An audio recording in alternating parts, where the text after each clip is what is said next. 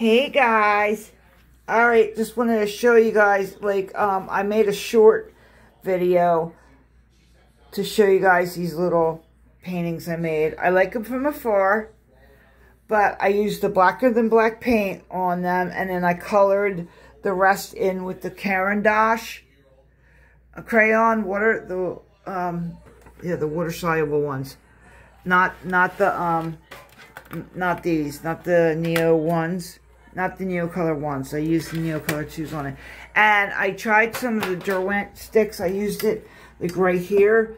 I don't like the way it came out. But I was just, you know, just messing around. Also, um, on this one, I tried to, like, add water to it so it would go into the holidays. You know, see the little, see how it's, all right, let me go closer. You see how it's really, really, like, I can't, couldn't get it in, in them, in that any, any deeper. It just wouldn't go. So I would use the paintbrush with water and try to make it go in more. Waited for it to dry, then painted uh, or like used the crayon over it again. And it, it lifted off. It didn't do real good. From afar, I like it. And I like this one because I didn't do anything like that. I just scribbled and just had a ball uh, making it. So, yeah. Um, I used um, this one. Boom. Again. And then all these not this. These are just out. My Caran d'Ache and then some Derwent ink Inktense on them. Um, also, boom, there's the painting. It's coming along. This thing's huge. Um, and now I'm thinking about making the, the bats go like in a swoop. Like, okay, like, let me get a little closer so you could see. You see that there's like some people. These are all going to be trees back here. See the trees? You can barely see them, but they're in there. And then, like, that, there's a person, there's one behind that tree. Wait, move my finger. One behind that tree. And then another one behind this tree walking walking that way. Um, and I was hoping to maybe get some of the bats to like be swooping in. They'll be cut, they'll be painted in the um, blacker than black paint.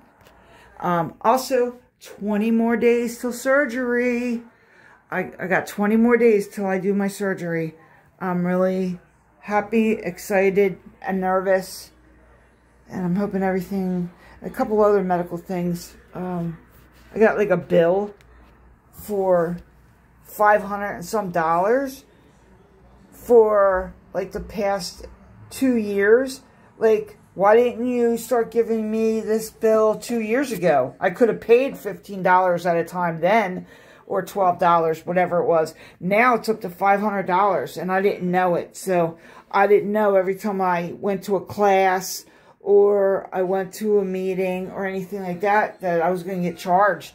And now all of a sudden, I get a bill for two years. I It just doesn't make any sense. So I'm a little um, freaked out by that. I don't need any more bills, man. it's not like I'm selling paintings. By the way, you could buy my paintings. I have, all my paintings are up for sale. I have a website. I always put my website name in the, um, in the, not the comment section, but, you know, the, underneath the, the video. What's it called? I guess the, oh, the introduction. Oh my God, why can't I figure out the name of that? Oh my God, I'm losing my mind, guys. Losing my mind. But hey, i rather you guys know who I really am. Because you know, it's all about the art.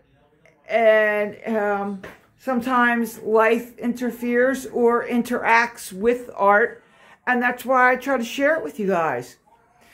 Um, December, or uh, October 15th, the, the new great grandma painting will be going right here. Woohoo! It's mailed to me already.